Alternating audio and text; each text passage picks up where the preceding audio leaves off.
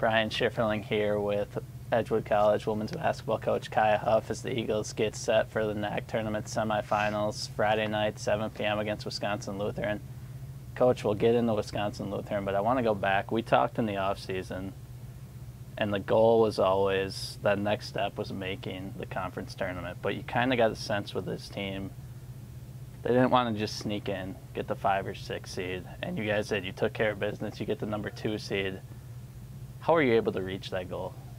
Um, you know, last year we were the first ones out of the tournament. Um, we ended up with a three-way tie, and the other two got in, and we didn't. And um, it was discouraging for us, and my kids were really bummed about it. But we had a long talk about our goals and what we wanted to do, and I made it clear to them that um, if you don't want to worry and if you don't want to, you know, get nervous and get left out, then you have to dominate. And that was really our intention. Um, is that we didn't want any question to be left. If we want to be in that thing, we need to we need to make it happen. So that's one thing that we really went um, into the off season planning on.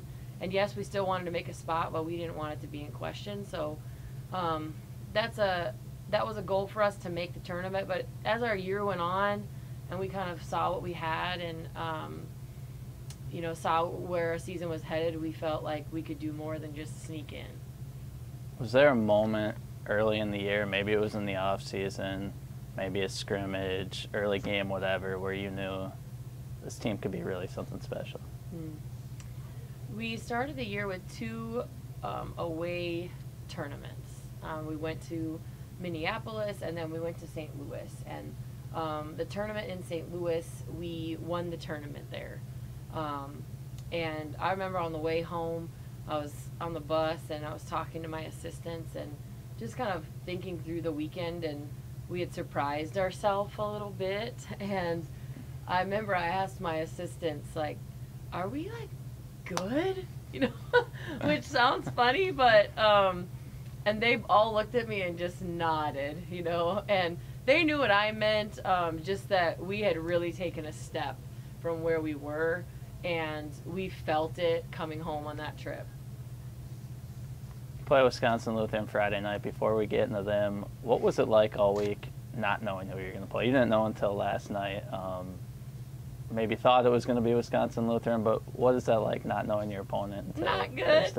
I don't like it. I'm a planner, and um, uh, I like to really plan ahead and be prepared, and so that's hard for me. I didn't mm-hmm. like that. We figured it would be them. Odds were in their favor, um, so that was helpful. And we just played them, so um, but that, it's it's hard. It's hard when you don't know.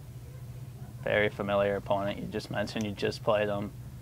I think defense would jump out when you talk about these two teams, number one and two in terms of scoring defense in the NAC. What can we expect to see on Friday night?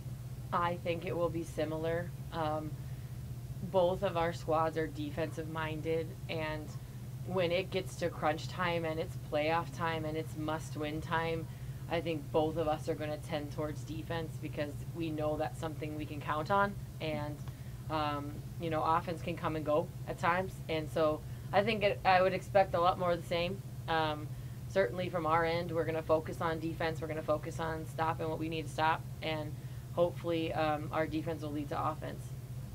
Now we want a big crowd here Friday night, so I want you to look at the camera, promote this game. Why should people come out and watch the Eagles? Come watch us this Friday. This is one of the most exciting sports seasons that's been around in a long time. Hopefully, start of many to come. And we need the gym packed. When the Edge Dome is rocking, it's an incredible environment to play in. Um, we experienced this last Saturday, so come. There's free pizza. Free pizza, free popcorn for faculty, staff as well. Uh, it's going to be the Eagles and the Warriors Friday night at 7 p.m. inside the Todd Wehr Edge Dome. Coach, good luck. Thank you.